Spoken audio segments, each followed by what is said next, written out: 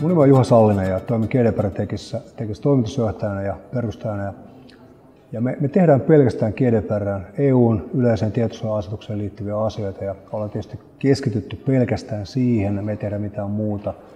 Ja, ja nähdään tämä, tämä haasteellisen mielessä, että GDPR on, on, on mystifioitu ja monimutkaistettu turhan takia. Ja tämä on itse asiassa aika helppoa, jos ajatellaan niin päin, että asiakaspalvelussa tai missä tahansa toiminnassa, mitä me tehdään, me käytetään asiakkaan tietoja, henkilön tietoja, on sitten yksityisihminen tai liikekumppani, kenen tietoja me tallennetaan. Me tallentaa niitä tietoja, me käsitellään niitä tietoja ja me käytetään niitä hyväksi. Meillä pitää järkevä syy sille, että mihin me käytetään niitä, niitä tietoja. Ja sen lisäksi meidän täytyy miettiä, miten me suojataan niitä tietoja. Me ollaan vastuussa siitä, että me suojataan niitä tietoja ja me käytetään niitä oikein. Ja tämä on kuulostaa erittäin helpolta. Ja tämä on niin sellainen asia, mikä nähdään, pitäisi aina olla. Me kuitenkin nähdään, joka vuosi nähdään useita tietovuotoja, tietomurtoja, tietoja käytetään väärin, niitä, niitä myydään eri paikkoihin, lehtimyötkin soittelee kaiken kaikkiaan. Mistä ne tiedot on päätyneet sinne?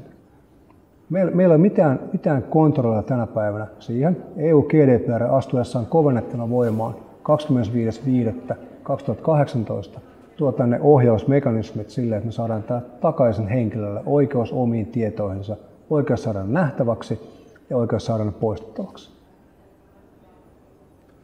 Nyt tästä eteenpäin, kun jatketaan asiaa niin päin, mitä haasteita asiakaspalvelussa tässä voisi olla?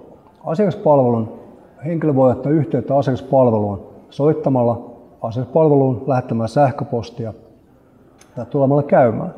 Jos mä ajatellaan asiaa niin päin, että Mistä me tunnistetaan, jos henkilö lähettää sähköpostia, miten me voidaan varmentaa, että se on oikea henkilö? Ja me voidaan tässä kohtaa miettiä ensimmäistä kohtaa, että miten me todennetaan se henkilön oikea henkilöllisyys. Toinen kohta, kun me ollaan todennettu se henkilöllisyys, meidän pitää miettiä, missä kaikkea se henkilön tietoja on. Jos se henkilö haluaa tietonsa nähtäväksi, meillä on kuukausi aikaa tai ilman aiheetonta viivästystä, noin asetusmielessä, on aikaa löytää ne tiedot ja nyt tähän auttaa aika paljon se, että jos me ollaan itse kuvattu niitä prosesseja, mitä me tehdään, mitä sovelluksia me käytetään, meillä on henkilön rekisterit kenties kuvattuna kunnolla.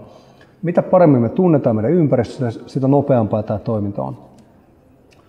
Nyt sitten kolmas kohta, mikä tähän liittyy, on se, että me annetaan henkilön nähtäväksi vain henkilön omat tiedot. Poistetaan se luotettavalla tavalla muiden tiedot, jos on tiimiarviointeja tai asiakasrekisterejä tai muuta vastaavaa meidän pitää pystyä luotettavalla tavalla poistamaan ne muut tiedot kaiken kaikkiaan pois sieltä. Ja tämä on tavallaan se kolmas kynnys. Meidän pitää asiakastukimielessä, asiakaspalvelun mielessä, yritysmielessä pitää tunnistaa kaikki nämä isot kohdat täältä, missä tietoa on, miten me tallentaan niitä, mihin me käytetään ja miten me poistetaan ja huolehditaan siitä elinkaaresta. Tiedon elinkaari on tärkeä siinä mielessä.